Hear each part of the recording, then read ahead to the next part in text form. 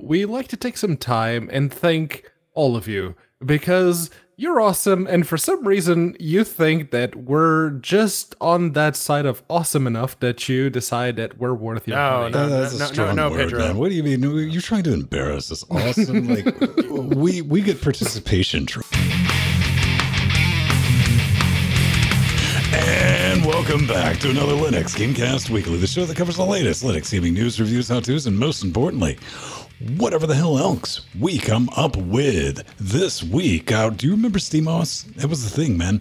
Well, Steam's kind of forgotten about it, but somebody wants to keep that memory alive, and a special unicorn has arrived on Linux in the form of a brand new fighting game. Very excited about that. I'm gonna give you a hat in exchange for hundred dollars. Uh, make that four dollars. Zomga Red Hat doesn't support gaming under Linux because why do companies spend millions of dollars on computers and software if not to run Doom? Risk System has some new free DLC, and the devs have also decided to throw some keys into the Cherokee Acquisition ring. And the uh, fine folks from Down Under have shut down. Defiant Development moves on from the Vidya games. Oh man, I feel the chunder. Oh, ladies and gentlemen, I feel it as well. Welcome back. It is another beautiful, beautiful day for Linux gaming and Linux in general. I'm Old Man Vin. That is our tame Canadian podcaster. Uh, the man, the legend, the guy who needs to buy a damn level. That's one Jordan Swing. And staying up late past his bedtime, Pedro Mateus in Cambridge, the Isle of Britannia. Hello. Cool as a cucumber. I'm, I'm sure it's It is much better today, yes. And you beautiful people at home joining us live, helping us form Cocaine Voltron. Don't ask, long story. Anyway, before we get going, uh, we do like to see what's going on in each other's life organs. Who wrote? Oh, everybody wrote stuff except for me. J baby, what's what's up? Yeah, well, uh, apparently, apparently, I can do pull-ups now. That that's the thing I discovered I have the ability to do. My uh, friend of mine bought me like a pull-up bar, one of the ones you hang under the door, uh, for my birthday last year, and I had it set up. I set it up as an anchor to do some like face pulls with the resistance band. And then while it's hanging there, I'm like, you know, I'm gonna try to do a pull-up. And I was watching some videos on pull-up progression. I've been like doing negatives at the gym and stuff like that. So I I, I did a pull-up, and I'm like, oh shit! Apparently, I can do this now. Can I do another one? Yeah. All right. Can I do another one? Yeah. Can I do another one? No. All right, but going going from zero to three is pretty nice. Um, I'm I'm pretty excited. That's been a goal for a long time, and now I can do it. Proud. Proud's the only word I can. Uh, yeah, just proud. Uh, Pedro, what's up, man? Well, uh, well, I'm gonna hijack this a little bit to thank uh, Katana Steel and Artherin, uh, respectively, for the IT87 kernel module heads up. Thank you very much for that, Katana. And uh, Artherin decided, you know what? There's a game with your name on it, so here you go. My friend Pedro is uh, now sitting in my Steam library. I still haven't played it, but uh, I will tomorrow. Uh, and if uh, everything goes to plan, that'll be the game on Tuesday. Who knows? Oh man, right on, right on. Uh, you're just gonna have to deal with me this evening. I'm juggling a lot of uh, not Horse new parts. Yes, Jordan, fucking horse parts. Uh, new pieces, bits and bobs. Because we're sending video over Etherdoodles along with audio, and I'm trying to make it do a thing to resolve some of these sync issues we have with having that separated with HDMI encoders, which we're not using for this is going over the network through a router that is genuinely telling me to kill it right now. And it's like, I'm not built for this. But hey, let's test in production. But that, that that's pretty much my adventure. I've been having a fun time with this. NDI, OBS NDI, look that up if you've been looking for like, hey man, I want to do like a streaming PC or something like that, but you don't want to get the HD HDMI encoders and stuff. This is doable, but I think I'm going to need just a little more horsepower than uh, what our Optiplexes are capable of. Either that or they're going to catch on fire, but either way, it'll be entertaining. Not as entertaining as a horse.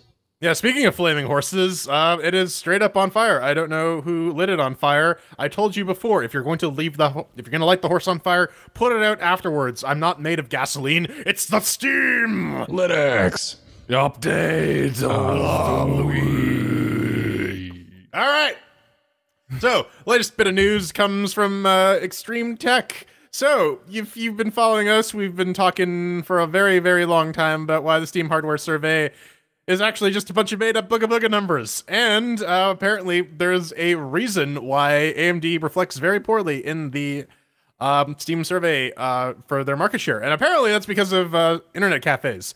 Uh, the way the way Steam tracks, um, Dude, is there anything an internet cafe just can't cock up?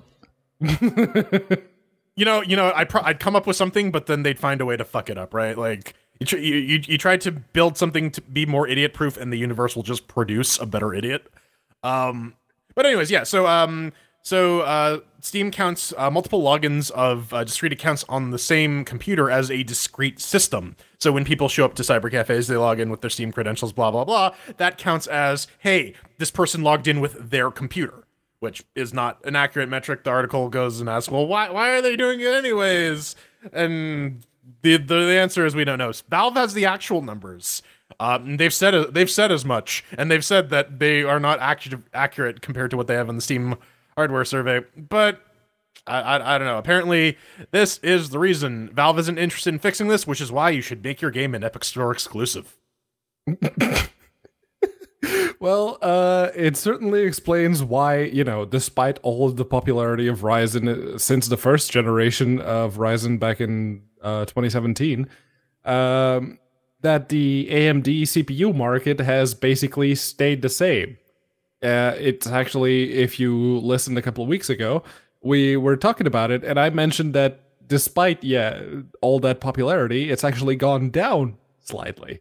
And seeing as most Linux users, even those of us who share uh, their place with uh, someone else, um, we tend to be Oh, the only la, ones. la, la di who- da, Mister. I have a girlfriend. Ooh, look, look, Yes. look at me, Mister Humble Brag. Um, we are the only ones who tend to log in on our machines, and we are the only ones who tend to use Steam on our machines because no one else wants to deal with that fucking shit. Uh, the so yeah, it does. We don't get to you know switch seats as much, so it doesn't really rack up those numbers. So that's probably why the Linux market share isn't going anywhere. I don't know, man. I mean, I, this could possibly explain how come I was like, no one has a 2060. I was like, but I have a 20. Apparently, I need to go to more internet cafes because that's how that works, right? with, with with with your 2060. Yeah. Plug it Plug it in in. Oh, Press 2060, man. okay. Good news, everyone. All of your collectible uh, hats are now worth nada. Well, sort sort of, kind of. This is bad news for people who are in the uh, the hat racket, as it were, from uh, PC Gamer. Links to all this are in the show notes. So apparently, there was a glitch in the uh, loot box mechanics for Team Fortress 2 that would actually result in uh, several fairly rare items to be predictably spawnable. And you know, as it turns out, because people are insane about hats, um, they um, the the the the gray market is going nuts. The actual market is going nuts. There's a there's a thread on the TF2 subreddit saying, "Hey, stop buying and selling and trading until we can get this sorted out because our poor the, this poor economy that we've sunk all our money into has been thrown into chaos because of a programming error. Oh my god, we're all going to die." And I mean like, yeah, when when you're getting items that can normally retail uh, for like upwards of $100 to appear reliably, clearly you know the more the more enterprising minded or enterprising minded of the TF2 player base is going to try and capitalize that, and all of a sudden everything becomes devalued because as, as as it turns out, putting all your money in digital currency is not maybe the greatest thing. Shut up. I'm buying Bitcoin. Go away. Leave me alone. I mean, Dogecoin. Is that still a thing? Guess not. Anyway, Pedro. Yeah, the crates that were supposedly spawning the unusual uh, quality items, uh, at one point, their value actually went over what some of those items were valued at. So that is quite impressive because if you've ever been to the uh, Steam marketplace, uh, you will have seen that the crates usually go for like 20p or like 30 cents, something like that. If that, most of them usually go for far lower than that. So if you have a crate that's actually worth like a hundred dollars, yeah, something's up with that. Lee, What I want to find out, how's Valve going to tackle this? Because I think it was yesterday or last night evening. Like, okay, we cocked up royally and let's suspend trading on everyone who got the items so they can't sell them and continue this nosedive. But that's a sticky situation, right? When you think about it. Yeah, what do they do? You are 'Cause people- spending money legitimately keys, at least. got the i- what do you do if like you got the item though man you're like hey man i got this fair and square that was on you you don't get no takesy backsies Right, right, and and the the, the article in this and the uh, subreddit post basically goes into like people are suffering anxiety, worrying that um worrying that uh, Valve is going to just cancel all these transactions, and all of a sudden, yeah, They and- don't and need to cancel they're- the transactions. They can just make the items uh, that were, you know, acquired during that period untradeable. So what they're going to do is they're going to train a machine learning algorithm to identify uh, which, which which of these items were generate were produced during this window of time, and eventually they'll come up with some sort of solution that they can automate. I don't think they need a machine learning algorithm to do that. the uh, hat economy in TF2 has been on long enough that they probably have that system down pat.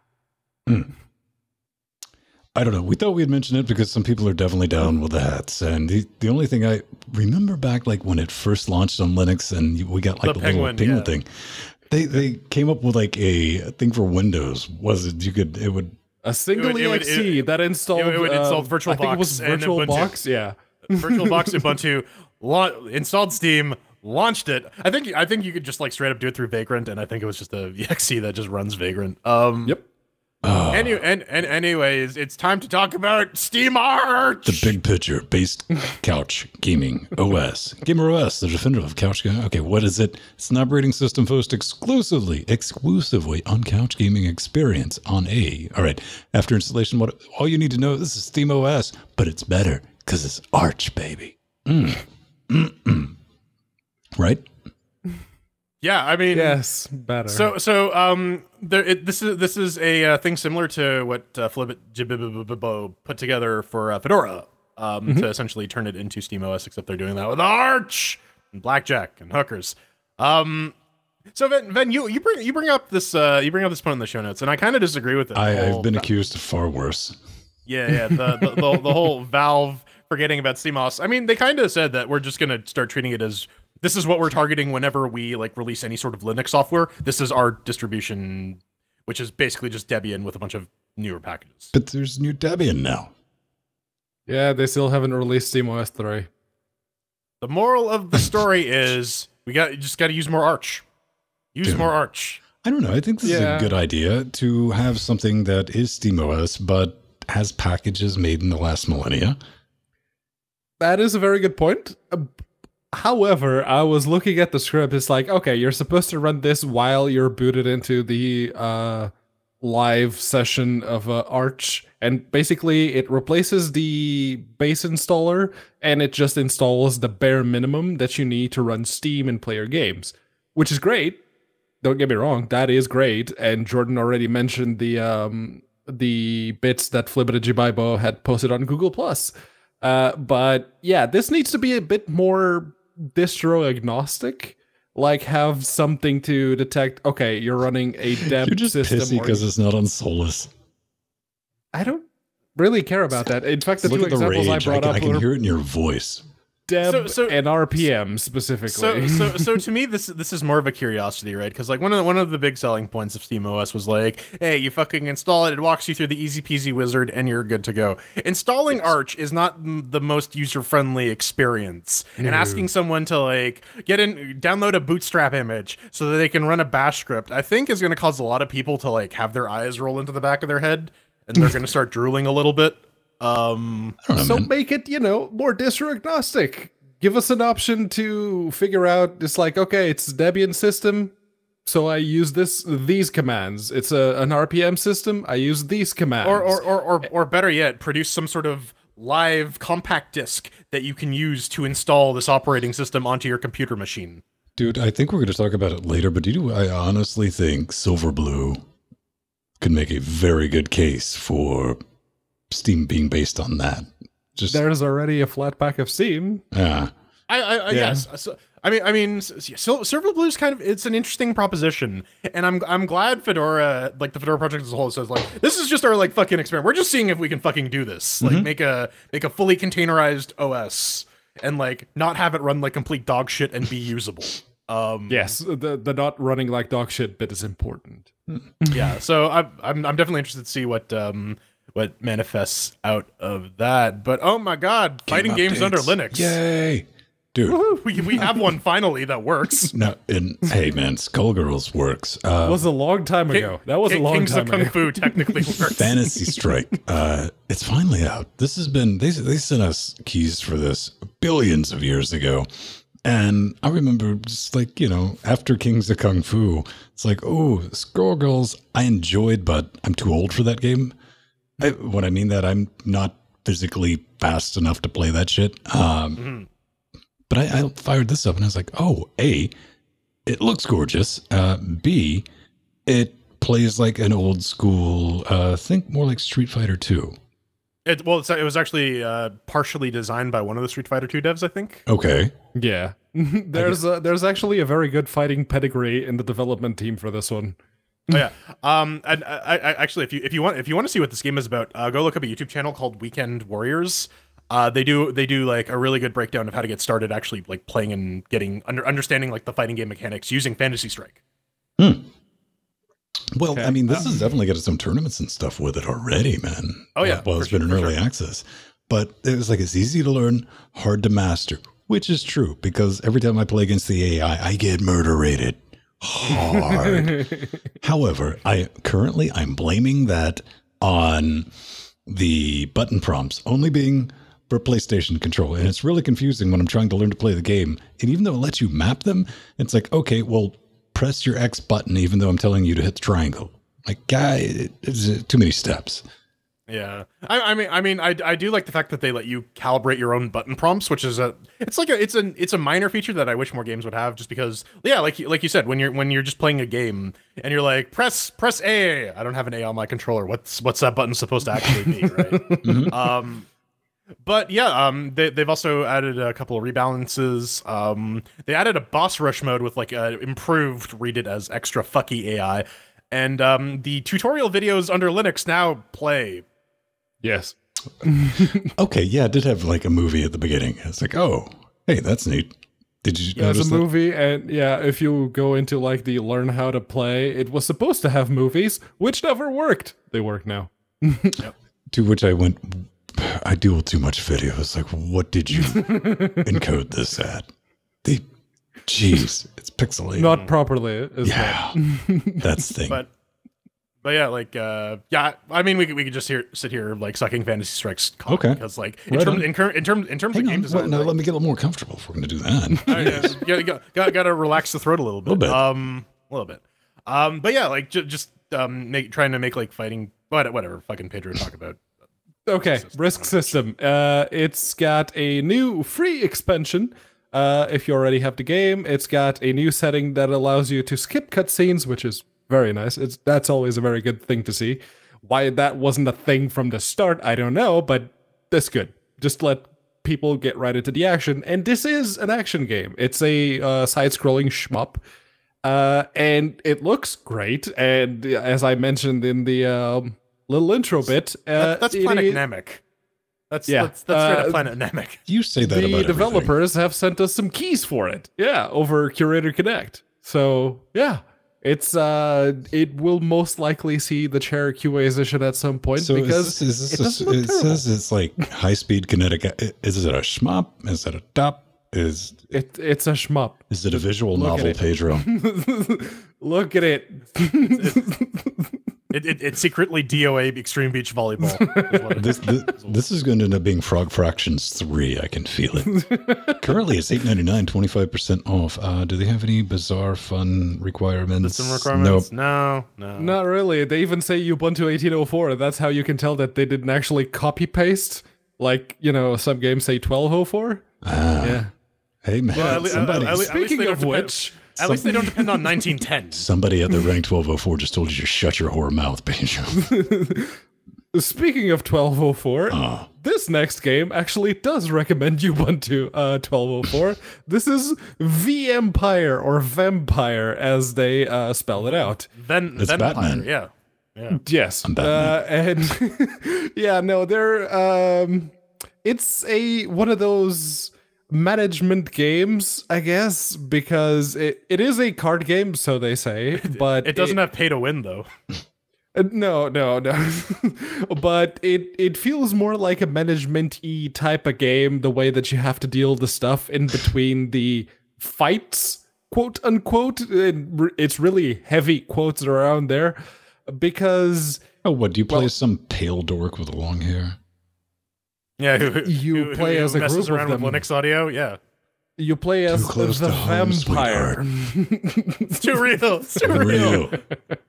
well, But, so, yeah. so what, what what I found interesting about like the conceit of this game is that like you play as the fucking Habsburgs if they were vampires. So like what they're all hemophiliac. Yeah. Like what, what what what do- what do you call a hemophiliac vampire? Like it's it's not a joke. I genuinely want to know. Um, a vampire It- I, I don't know but yeah the the minimum requirements do say ubuntu 1204 and that is how you can tell that someone just went to like the linux uh, template for the uh, minimum system Well, requirements currently just straight up it's a card game with mixed reviews. Never seen that before. no it's not like most of them come out to that or anything Well, it's only got 18 mixed reviews. To its credit. so it barely qualifies to even show the uh, the little score at the top Hey, okay got you It's more games than we've re- well, even with the amount of games we have based on us. Um, okay yeah, Yeah. there's Early that one in development Yeah. Yeah. Brick Simulator was just, the, the, the, was testing the waters. listen, we, we'll we'll release Brick Simulator when Valve finally gets around to releasing Half Life Three. Coming up legit. next. Foxy, Uh, we need that game. oh, oh, oh my god, it's a real boy and it's fucking loud. Oh my god. Shut up. And we're back, and we'll get into the news very quickly. But uh, before we do, we like to take some time and thank all of you because you're awesome, and for some reason, you think that we're just on that side of awesome enough that you decide that we're worth your No, money. no. that's a no, strong no, word, Pedro. man. What do you mean? You're trying to embarrass us. Awesome. Like we we get participation trophies. yes. Yeah, we, we, we, we, we, we inspire some awe and like the sort of awe they're trying. Let's Yeah, exactly. Um, it's the oh. I didn't, you know, spell out the E, so yeah, it's awesome. Aw. All right. Well, you, you you cuties can head on over to linuxgamecast.com, click that support button, or really hover over it, and you can find a No. number of ways to support It's us. confusing. Uh, yeah, or or wor- worst comes to worst, you can always head on over to patreon.com slash linuxgamecast. I mean, best get a- comes to best. best comes to worst. Worst to best. Yeah, I mean, if you want to hang out with the worst people, you can uh, become a Patreon. That gets you ask- access to the uh, Discord channel, where all all of us awful people sort of hang out the other six days of the week. You get access to the show notes, which is pretty nifty. Get your name in the credits. We'll I, I think, maybe we'll read it out loud. in like because somebody's gonna be like, "Yeah, man, scum and villainy Discord," and they're gonna get there and be like, "Wait, where's my scum and villainy? This is like a bunch of chill people." Like, There's people talking about and going- Linux yeah. and getting shit to work. What the hell? Yeah, it's, it, it, it, I mean, I mean, we joke, but it's pretty tame. So we need you to come in and make it worse. also, we have IRC completely. That's live for Yeah. anyone, man. This is Yep. this is this is the this is the true true. Uh, we got we got we got wish lists. Pedro and I have wish lists. If you want to, you know, make it rain on top of our bodies, you can go and ch- check out what we have on there and buy us some stuff to help out uh, ma- making making better content for you. Like like we said, it's not it's not better quality Making content, better but, looking content, but yeah, be- better better Yes, looking, better, sounding, content. same dumb us, higher quality. uh, but but you know, if you, if you if you if you're watching one of those videos that then posts on Patreon to instruct people on how to do this, and you say, I need I need some, no, No, I'm I'm I'm suggesting to the audience, for the audio listeners, like, don't do that to yourself. That's maddening. yeah, yeah. Hey. Well, I, I I mean, if if you if you want if you want to try and reproduce it, you might need some hardware. You can head on over to the studio list on Amazon, where we list all the stuff that we use for lighting. Every single thing. If you see something on the yeah. show and you're like, hey, I wonder what that is, this is where you go. This is not how we're supposed to use it, but I mean, it's us. That's a good way to go do it. Go buy it on Yep. Newegg for all we care. But at least the information is there. It's documented, stuff I use, stuff uh, Jordan has, and uh, stuff Pedro uses. So Indeed. that's there, But- guaranteed to work with Linux. But you know, may- maybe you just want to confuse your friends and worry your neighbors. You can maybe buy yourself a Linux Gamecast T-shirt by heading on over to store.linuxgamecast.com. Buy a weekly, daily, Wednesday shirt, a Hell Elk shirt. Buy something. Tell people you're a Francophile. People will be like, "What the hell's a Francophile?" and then you'll just have to break down in tears because there's no I'm point in trying to sorry. explaining it. I'm sorry, Frank. He's normally not like this. I, I'm I'm not. Fuck you, Frank. Fight me. Fight me IRL, bro. 1v1 um, yeah, but we, we we got we got we got mouse pads, we got stickers, we got all sorts of fun stuff that you can adorn yourself and your possessions with to make it very very clear that you like a Q list Linux gaming podcast.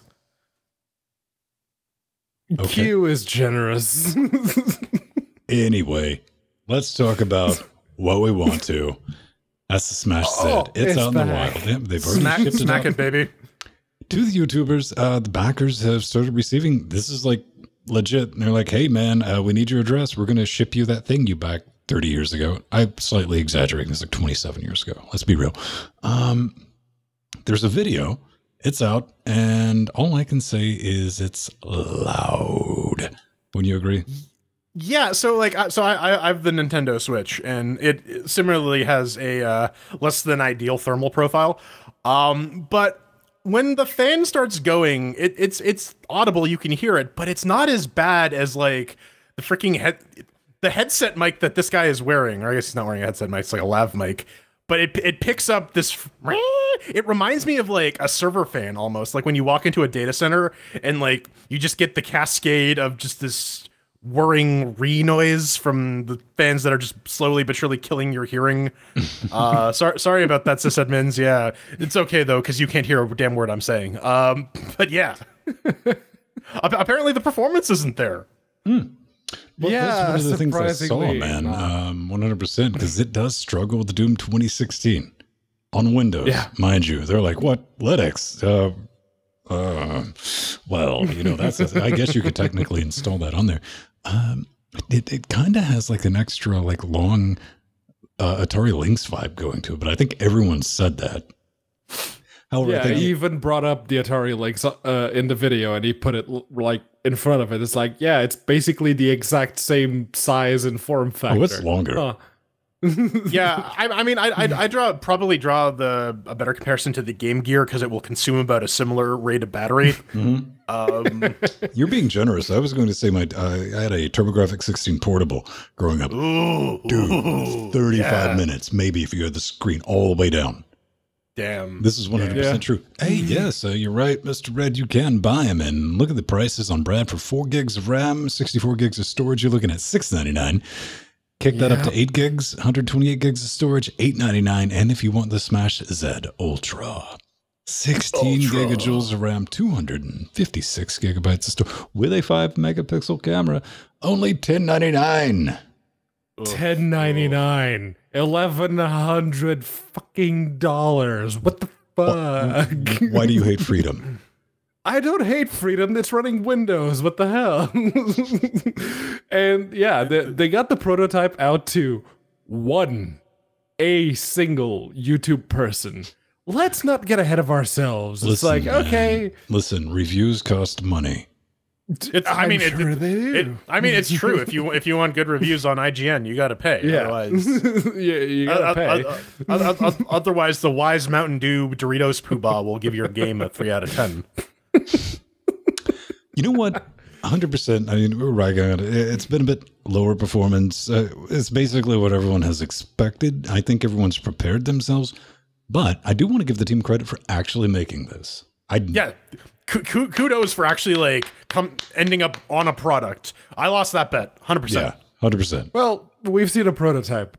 We haven't seen, you know, the actual retail product yet. Uh, well, I think that's what they were showing in the video. Yeah, that's, That's the prototype. That's the same one that they used for like It, wait, did it um, come in its prototype packaging? conventions. It, Well, I- I- I mean, let- let- speci- if you watch the video, Pedro. The prototype was a, effectively a dumb terminal though, because they hooked it up to an actual. Oh, it, was to just a screen with a controller. Yeah. yeah, th- that wasn't a prototype. That was just lies. Anyway, All right. stay tuned. All right. A- A- AMD graphics power. Neon Jasonness Evangelion's back.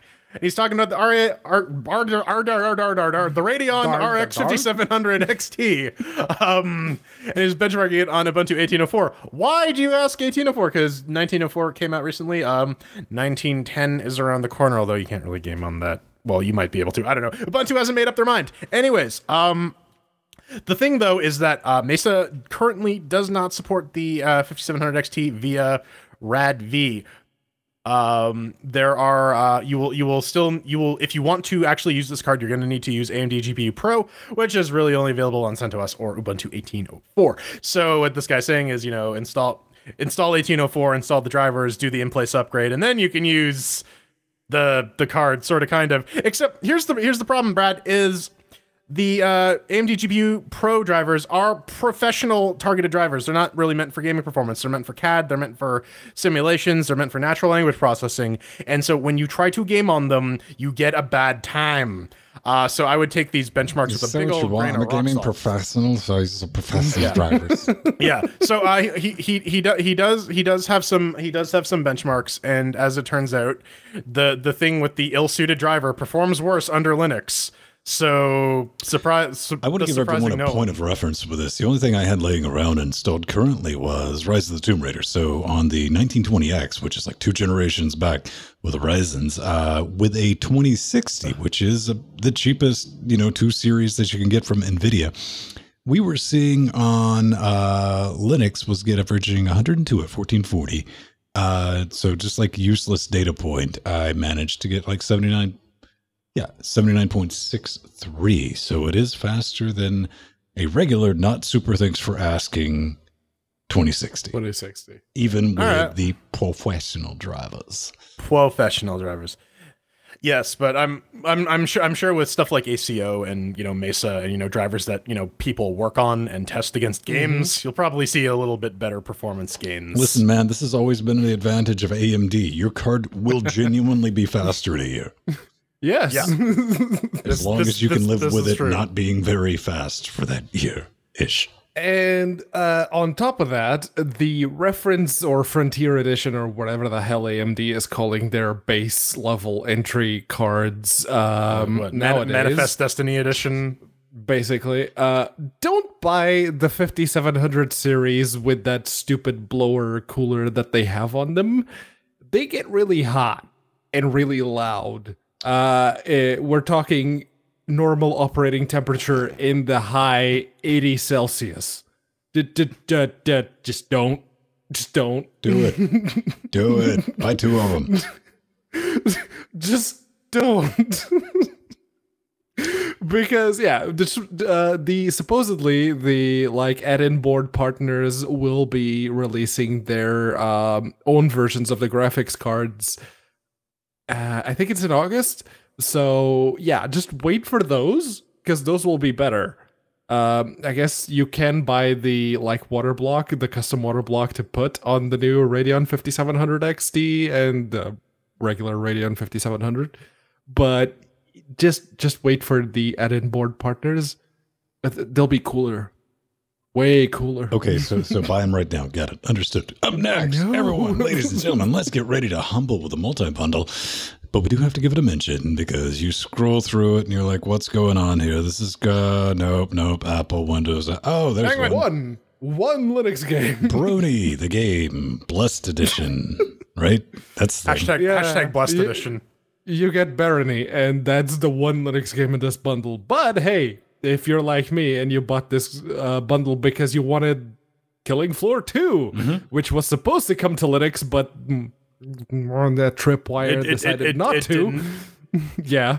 Uh, it, yeah. Make sure you slide like the little uh, sliders where you can choose where your money goes. at the Remember, kids, be petty like Pedro. Yes, That's what the be that's what the P like me. stands for. Pe- Petty Pedro. A new series coming to BBC um, this fall. The petty Portuguese Pedro. Yes. Triple P, man. the, the Pedro the Pedro shop boys. Any- anyways, so so, uh, um, uh, but you know, for, for games that aren't Linux native, how what what sort of value do I get out of this thing, this bundle? You know, one one thing you can justify: a, it's got a Linux game, so hundred percent. I mean, you can buy it for that. I was interested. I, you know, just going through because hey, we got Proton now. When I say that, it's like, but you got Lutris and Wine. Yes, I'm lazy and I'm old. I got a play button. That that's the extent I'll go through to get a game to work. I'll like I'll click play and like, did it work? Oh, womp womp. The um, Death Garden, Blood Harvest is like that looks neat, and all this is multiplayer.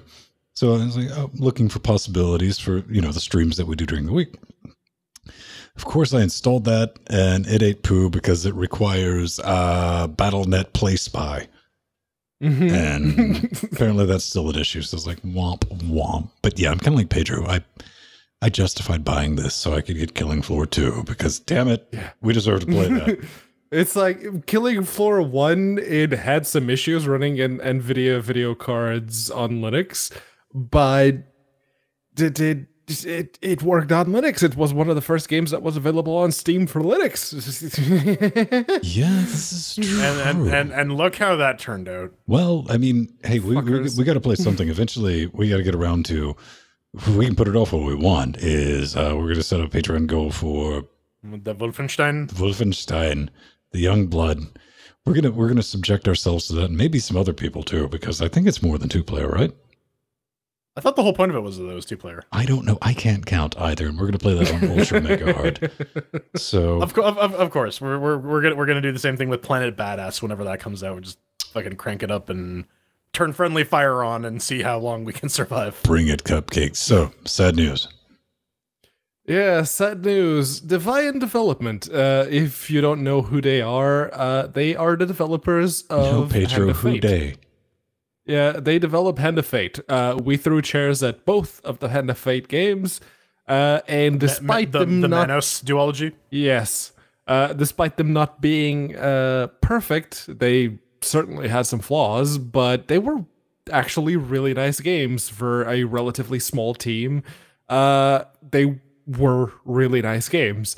And now, well, they decided they're not going to continue making games anymore. And the final game that they were working on, that you can see the uh, trailer if you're watching the video version, uh, they have Look at that. Of course, it's it. something, and I was like, yes. Yeah, yeah. Oh look, it looks ama- it looks amazing from this fucking trailer. Of course they fucking canceled it. Great. I, I don't care. I mean, e- even though it has like the hex squares, um, but see, this was always the brilliance.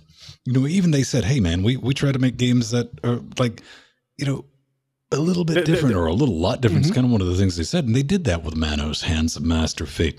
This. They're doing the same thing. It's like they're going to mix an adventure game in with like stupid grid-based hex bullshit that I don't care about. Kind of like they did with Hand of Fate 2. But I was like, okay, give me enough action brawly stuff, and I'm going to sit through the card stuff. Yeah, but un- un- un- unfortunately, like that's the thing. Not not all game developers survive long enough to be swallowed up by, by EA and have their properties ruined thoroughly. Sometimes they die before that. Um, Um, I, I will say on behalf of they've always been excellent uh, with making Linux ports. Hey, Epic, do something fucking good. save these Yeah. guys. Yeah, buy shape them. buy a company. It's like, okay, we'll just give you money and we won't make you release exclusives only. No, they're, they'll they'll do that. That'll be They'll- part and parcel. Sweeney finds a way, baby. Come on, Yeah, Yeah. like like you, you don't make a deal with the devil and expect to not go to hell, right? you, you don't Like- mess around with Velocity. Sweeney. Fair. Yeah. Utah Sweeney's a whole different monster. All right. All right. Red, Red Hat hates Yeah. they hate they hate gaming. Oh my god. Yeah, so Chris Wright uh, from uh, the CTO of Red Hat did a bit of an AMA on our Red Hat earlier in the week. Uh, and Puembra Hola uh, asks, uh, is there any intention to actively enter or support gaming under Linux? To which uh, to which he says, well, you know what? No, we we we re- we reckon we recognize that gaming plays an important role in computing. However, we are an enterprise Linux company, and our product sur- products surround enterprise Linux, which is not gaming. They do they, uh, but they do say like they do support other projects that um help gaming. They they uh, Red Hatters help run the open source game jam. Uh, back back at um one one of the Linux conferences, they're using Lutris to demo uh gaming under Fedora it's not like they they don't care about it because they the the guy even mentions that like uh, gaming is sort of like the gateway for developers. Lots of I would say about eighty percent of programmers are actually failed game developers because making games is fucking hard, and you can get paid for doing a lot less for a much lower effort job, probably a lot more actually. Um. So th- I mean, they, they they throw money at it. They they they support stuff like Blender and um, other other other projects that enable you know people to actually create content for games, but that's that's not their focus. It's like it's like it's like uh, it's like asking Dyson to make a mop, right? It's not their it's not their market space. I'm sure, you know, Red Hat would be more than happy to get some money from companies like Valve or literally anyone else by, you know, supporting them and getting their backend up and running to deliver everything. But I I I don't see them making a desktop gaming operating system. Oh come on, man! The Yeah. the Z Series IBM hat red. Uh, That- that- that- that's what GamerOS is for, man. it's going to run power shut the hell up, and it's going to be awesome, It's going to run Red Arch. dude. Rarcharch. It's the I know, Rarcharch. and I- when I read that, I was like, yeah, Red Hat's they've done their part, you know. Yeah. Didn't uh, Katana have something to say? In, uh... Yo, I mean, I mean, I, I brought it up. 'cause, Okay, Uh, Katana yeah. was the one who mentioned up that, that at scale they were showing off uh, Lutris uh, running on Fedora. Keeping everyone honest. That's good to see. Yo. Hey, we got a little bit of news from Feral, and no, it's not about Tomb Raider because why not? No, no, no. is- So, uh, uh, when, when this is one of the projects that uh, Feral puts out. Actually, this is one of the few open source projects that they put out. Uh, it's called Game Mode. They originally started up because like. Um, I, th- I think I think it was actually like the first Tomb Raider game. There, th- there was a big forum poster like, "Hey, you have to turn your perform your performance governor to perform or your CPU governor to performance, otherwise our games will run like shit." Uh, but instead of doing that, they've created a daemon uh, service that will run in the background that allows games to like alter the current running mode of the system so that you know that you don't have to perform these steps manually. Uh, and they they just released a new version 1.4. Um, Flatpak apps can now um, hit the game mode service through dbus, and they have a bunch of uh, a whole whack of uh, dbus refactors. And they've even added an environment variable for you to stick command prefixes like um, OptiRun or Primus Run or Prime. So if you have to like prefix, or if you if you're using one of those uh, weird things that forces that creates like another X session to run your game because that improves performance somehow, um, it, it can it can do that for you now as well, which is pretty handy actually. So, Yeah, and how many? If what if I run two X, three X sessions? Then you're a wizard. Is it linear? All right, brilliant. You're a wizard, Harry. Uh, but with stuff like the Athenaeum um, game launcher client, which was like uh, one we talked about a month or two ago, um, they say that they're like the Libre alternative to Steam. And that basically it comes as a Flatpak and it provides a bunch of games uh, in their library as Flatpaks. It's open source games, obviously. Uh, but with this and with uh, game mode actually pulling up, it's like, okay, I recognize that uh, thing that's running. Let's just put the CPU governor to performance right now. That's a very good thing to see. That's a very good thing to see. yeah. It, it, it addresses a real problem that um It is lot- lots of- something. this is very handy on a mobile. I mean, Oh yeah, on a laptop. Yeah, lo- Yeah. yeah. Uh, there, uh, to be fair, like a, lo- a lot of default configs for a lot of distributions tend to be a lot of very tend to be very conservative when it comes to power consumption because the the assumption is that you're probably going to end up throwing this on a laptop or a desktop, and either way, you don't want your power bill to shoot through the fucking roof. Indeed. All right, Pedro, P baby, you're the only one of us to not have escaped Europe. Um, so you get to talk about football. I mean soccer. yeah, yeah. Well, this one is uh, Actua Soccer, which is a really, really old uh, football game uh, from the early early nineties, and 95. the source code. 95 uh, and the source code is now available Has just on been github dumped in one big. yeah straight Yeah, up everything there's uh, some exes thrown in there but the most uh, most of the files are like header files c files c++ files some object files thrown in and a couple of document files uh, in the mix but yeah it is everything straight up everything to get Actua Soccer uh, up and running. Go ahead and figure that one out. Yeah, I mean. Uh, Go ahead. Uh, I was- just going to say, according to Wikipedia, Actua Soccer was actually one of the first uh, games released on home consoles that was designed with an all 3D engine, which I guess is of minor historical significance. Also, I mean, it's English Premier League soccer football mm, sauce. So, but, I mean, we, we, we don't have we don't have sports games on Linux. Sports games are a draw; people enjoy them, and the more types of games we have on Linux, the better case we can make for it. So, this is something. Yeah, I, I, this is definitely one of the things. You think of fighting games, unicorn. You, you you get the vapors and fall over and f- pass out. If you get a sports game like EA, I can imagine. Oh, that's gonna be weird. uh, th- those are just microtransactions games nowadays. Like I said, E EA. But, but but again, they they make money. they make money. They people do. buy them. They do. people people spend money on them. They do want to make a point, though. I mean, uh, that they're kind of like throw out a disclaimer on the uh, GitHub page. You know, this is for historical interest and research because the source code is available, but it was never released, or however you want to throw that. So it's released under attribution, uh, non-commercial, no derivative, four point not international Creative Commons license. So Yeah, the, don't uh, do anything wasn't, with it. was, wasn't this from uh, archive.org as well? Yeah. Yeah. Um, yeah, so there you go. Archive.org So- doing great things. You should give them money. The aristocrats. If you do do something with it, just don't advertise it. Shh. Or port port port it to Linux and then Put it on maybe Steam. Nintendo will- They'll never yeah, notice. Nintendo, I was I was gonna say Call it Nintendo will send something you else. cease and desist, even though it was a exclusive. it was it was like a PlayStation not game. so actual soccer, something like that. Yeah. All right. Hmm. Well, coming up next, we we're, we're apparently we're we're taking a trip back to, in time to when Rob Ford ruled Toronto and all the money was replaced by chicken nuggets. Stay tuned for that.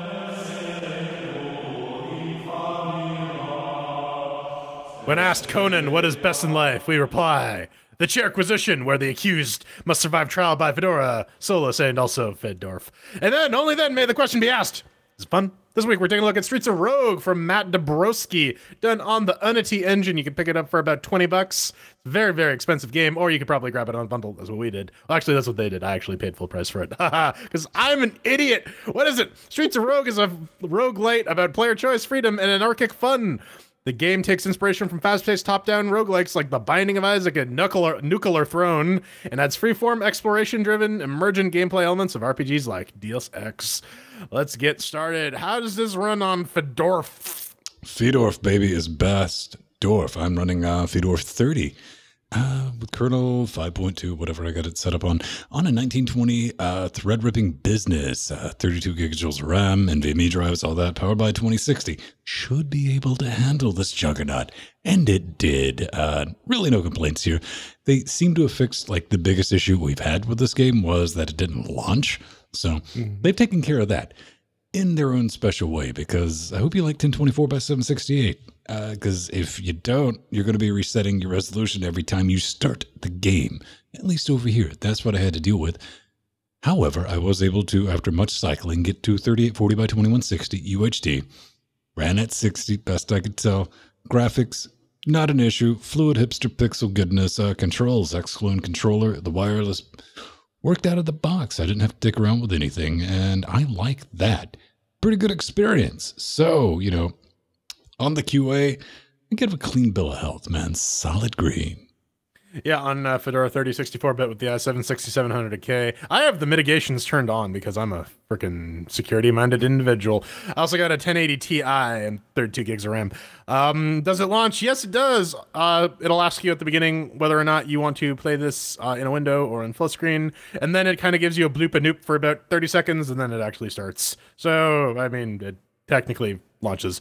Performance at kinda- doesn't it kind of leave you hanging right there, like when it launches? Yeah. Yeah, it's it's it's a, it's a little spooky. You don't you don't know. You don't know until you press the button. It's like, oh, it's fine. Um, yeah, performance at 1080p. It's fucking pixels. I hope my 1080 Ti can run that. If not, I probably have some sort of Spectre vulnerability mitigation stuff running on my 1080, which I, I don't even know anymore. Um, graphics, yeah, also pixels. Uh, you do get a little bit of character blind sometimes, especially because um, all of the people you see in like um are actually playable characters. So sometimes there are um there are like duplicates of you or your buddies and it gets a little confusing at times. Um they they have they have a thing to like identify friend or foe, but it's active, so you have to have press the button. And controls, yeah, WASD works fine. So does the PlayStation 4 controller. Uh four chairs on the Fedora. What about Solus? And on Solus or Solus, as it's more uh, commonly referred to, uh, it works just fine. Uh, I'm running the Ryzen 7 3700X and the GTX 1080, and it yeah it launches. Uh, it launches in a window, uh, and then it goes to whatever you set it to, which I guess is a good thing because, as Van already mentioned, yeah, it didn't run at all um, when you first launched it a while back, but they figured it out. The performance, yeah, it it's locked at 60, um, be it at 2160 or at 1080p, so it's very good. The graphics, it's not exactly hipster pixel, but it's not far off. Everything works though, so it's not getting dinged any chairs for that. the controls. You can rebind everything on that initial screen that you get the first time you launch the game. Yeah, you can rebind everything, and it yeah it respects those rebinds. So four chairs from me. Fantastic. Well, there you go. That's the diagnostic information so you can figure out if this thing will run on your computer box Never. for great justice. What about fun, though, Venn? Did you enjoy your time playing Streets of Rogue? Oh, Streets of Rouge? okay. Welcome back uh, to roguelike procedurally generated hipster pixel month here at LGC Labs because we've been doing a lot of that. Um, you know what? At least this little fucker has a sense of humor about it, and that goes a long way with me. Even a genre like multiple stacked upon top of each other. Like I don't like it, but uh, maybe laugh. It's got that going for it. Uh, really happy about that. You pick a class, assign a tribute, uh, attempt to sneak around and end up punching your way out of situations. Kind of like Wolfenstein that I'm playing on Fridays. We're almost done with that. Because half of the time, RNGesus doesn't generate option two. It tries. It's like, hey, there's multiple ways around this problem. No, you, you just got to fight your way out. Um, I rather like the soundtrack. It has that going for it 100%. And you know what? It's good for a quick romp and like the occasional chuckle because it- it's got a good sense of humor about itself in the game. But it's not really much in the way of depth. I gotta say that. And with a variety, you don't, no matter the reskin, you're still playing a half shuffled version of the same level. But it does have online multiplayer, so there probably is like some unintentional hilarity to be found in that alone. But at the end of the day, take that shot. At 1999, I gotta say pass. But this is only if you don't like roguelites, you don't like procedurally generated, you don't like hipster pixel stuff.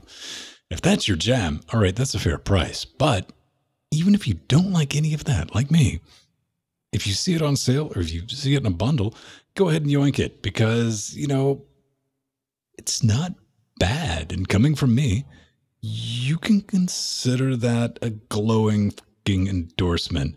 So I'll give it two cheers with a sword of one. All right, yeah. I mean, it does kind of feel like GTA 2 with the little tiny, blocky, procedurally generated level. And yeah, Venn, you bring up a very good point. Like, all the levels are very, very samey. I really wish that they uh, had a little better variety with the tile sets. Because, like, there are definitely, like, oh, wait, no, this was the same layout of the town from two levels ago. Um, but yeah, the, the gameplay feels solid enough. There's a plethora of options for doing your missions. Uh, but you know, like Venn said, sometimes you're stuck with what you have. Um, your starting class actually really helps a lot with that. If you want to do like the non-combat route, you got to pick something like the thief or um, some of the other the ones that you can unlock over. Yeah, yeah. I I I, I switched it up because I wanted to try a couple ones. I pl- once I unlocked the gorilla, I was exclusively playing as the gorilla because that's just great. Um, but uh, yeah, sometimes you just gotta cheese the AI. But like, it's it's neat because like you can knock on doors and windows, and people will, will like respond in a semi. I don't I don't want to say realistic, but they respond in the way that you would expect them to. So that that's that's pretty nifty. What, what Um, did you think like the first time you get a hold of somebody, like a partner, and it was like, hey man, just be careful with the fight and all that? Yes, the AI is really that stupid. Oh, it is fucking dumb. There's a, there's But- but there's a couple. did you see the screen where it explains this to you? Like, yes, the AI. I, is- I, I may, maybe it, I don't comes think, up on the screen. They're like, yes, our AI is really that dumb. Go for it. Well, for, for for me, it was like rescue this person. All right, so I rescued the person, and then they immediately like walked into a turret and got murdered, and then the mission failed. And you're just like, well, well, shit. Like I couldn't, I couldn't have helped that. There's nothing I could do. But that that's kind of the thing with uh, roguelikes is you kind of have to sort of accept the fact that you're not always going to get what you want. You just got to try your best and hope for hope for things to work out. Um, yeah, I mean, there, there's some RPG mechanics, but they do feel a little tacked on. Uh, I feel like they were trying to go for something a little West of Loathing style, but that didn't they didn't convey that all that well, and I really wish they put a little bit more effort into making these options ha- feel like they actually are something. Um, I think doing this in multiplayer would definitely be fun. It has both couch and online multiplayer. Um, but I feel that any sort of like stealth alternative gameplay shit just like goes out the window because peop when one of your team members then we'll just start shooting people and then it's just whatever you got to deal with it. Uh, I will give it three chairs because I actually quite enjoyed it and I, th- I can see the uh, potential. Um, I will say though, don't pay full price for it like me. Be a smarty. Don't Get it in a pay retail. Yeah, don't pay retail. Yeah, There I go. like roguelikes and roguelites. Uh, I've sunk a few hours into The Binding of Isaac Rebirth and even more hours into Enter the Gungeon.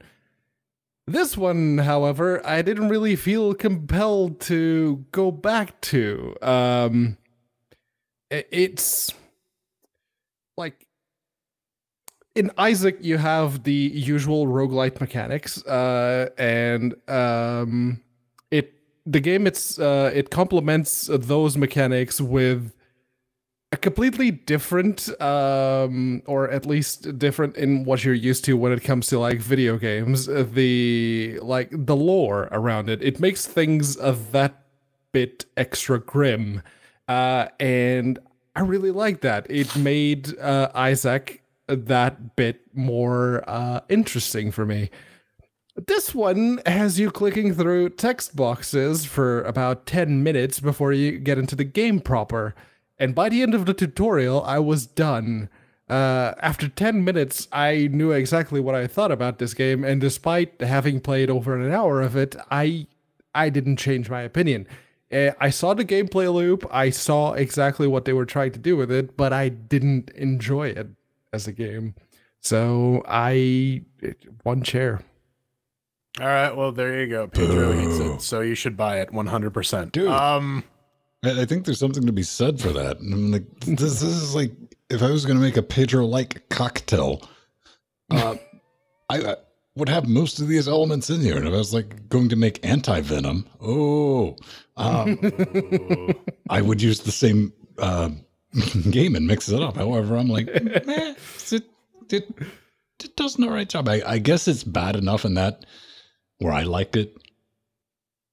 I I really didn't like it. And again, uh, games like Enter the Gungeon, this is very similar to Enter the Gungeon, but it's just not there. So yeah, I, no. I, I, ju- I just like I just like the idea that we're playing in like a like a post-apocalyptic Rob Ford run Toronto because like the the, int- the intro sketch is like okay they're just making fun of Rob Ford at this place point oh all right, all right, So all right. do you chicken hate- nugget chicken chicken nuggets yeah all right, that's- Do you hate right. it bad Uh, enough to where we play it Tuesday? We can play Pedro? it on Tuesday. Challenge missing. All right. Challenge pissing. All right. Coming up next, we talk various potato strategies and why the Stadia should really be called the potadia. Okay. Once upon a time, um, certain um singer by the name of Freddie Mercury, I- legend that he was, said that the show must go on. But let's face it, if you've put up with us this long, chances are you really want this to end soon. What, what do you give that, Uh, Jordan? I mean, I mean, I mean, what, what, like this is the, this is this is the sequel to the show must go on. Please turn the show off. yeah, I'll give that three cheers. I mean, that's not too bad of a recovery. All right. Look, I got a little bit lost in my train of thought, but hey, if you'd like to let us know exactly at which points during the show we got lost in our trains of thought, you can go to Trains. linuxgamecast.com. Trains of thought. Uh, Brains of thought. you can uh, go to linuxgamecast.com, hit the contact button. Make sure you pick LGC Weekly as the show that you're sending your hate mail to, and we will feature it right here, right now. If you're a game developer and you'd like to, um, you know, have the three of us have a look at your game, make sure to send us three keys uh, or like a build that we can share amongst all of us. Samage, you name it, man. We're easy.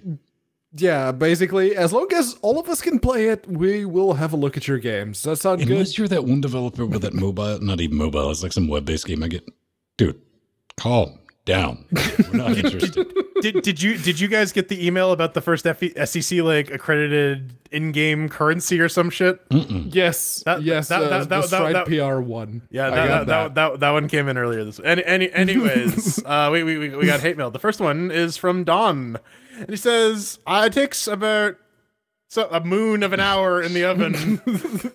and I still prefer the oven to the microwave. I preheat the preheat the oven to 425 Fahrenheit.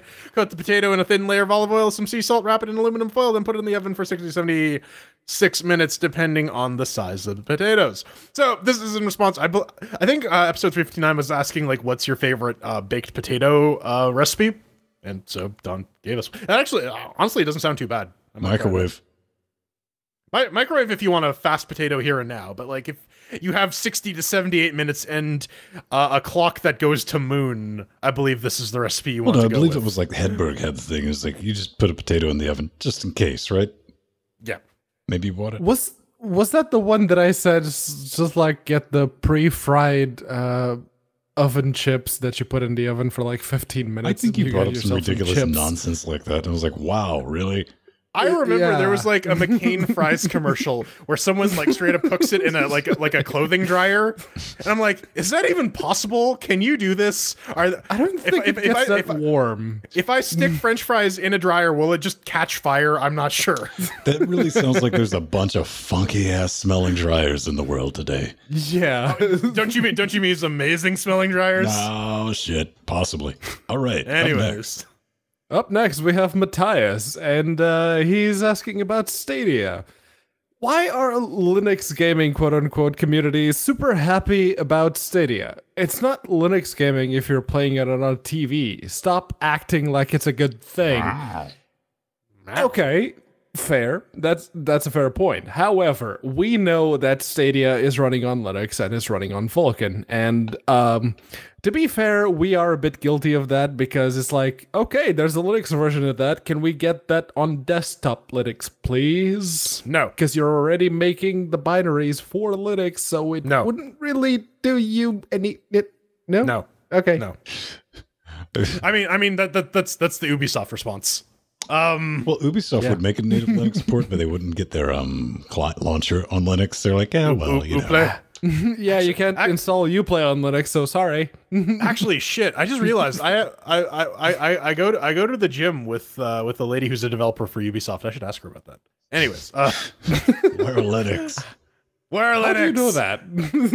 Yeah, how 'Cause do you we- know? Does she wear a T-shirt? She's like, "What's up, Origin developer in the house?"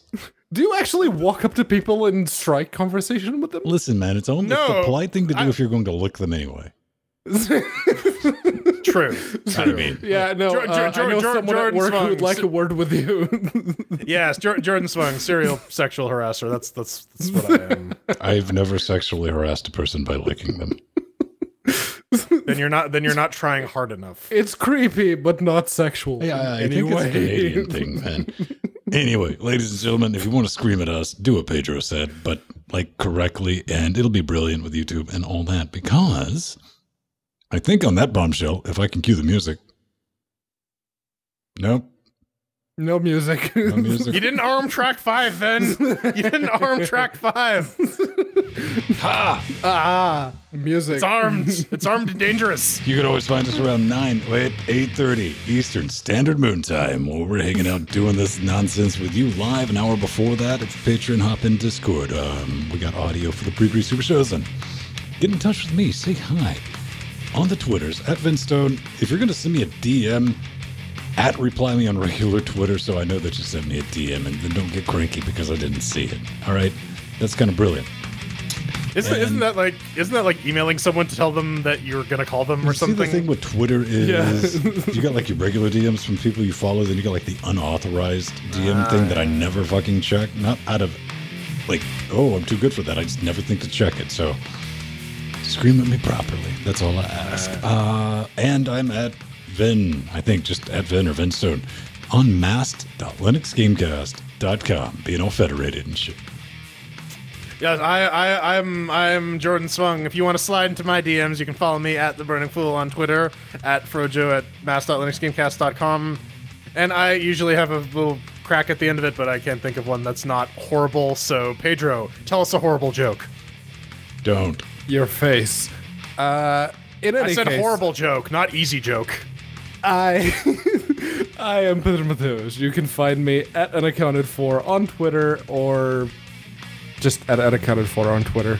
I, di- I- I do have a mast.linuxgamecast.com If login, we're but I, I being never honest, go there. considering the shape he's in right now, you did good, little buddy. Good, good, good job. Not uh, bad. Round of, round of applause. Freaking 6.3% beers, man. him some That's all. I'm saying. He, he, he gets the golf clap. I got the one clap. You, you really know, you just, one. ha- you just you just have the clap. You can make his hands clap.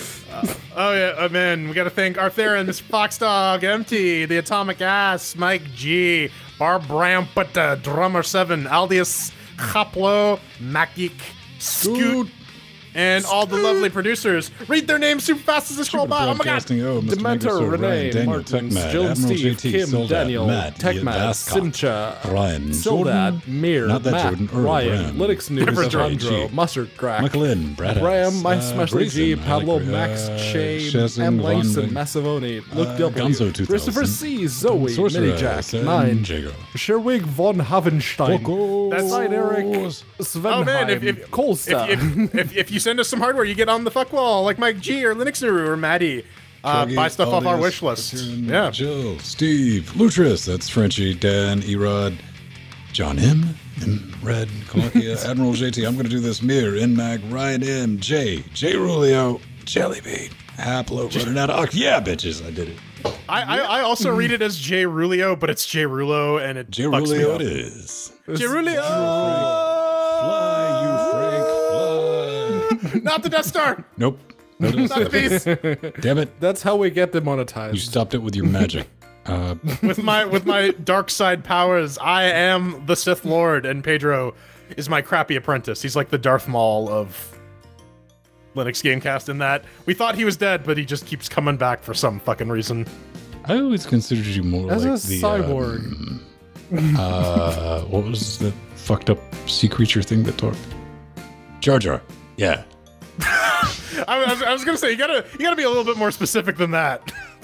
Bye, Admiral Ackbar. I didn't say calamari. Five dudes.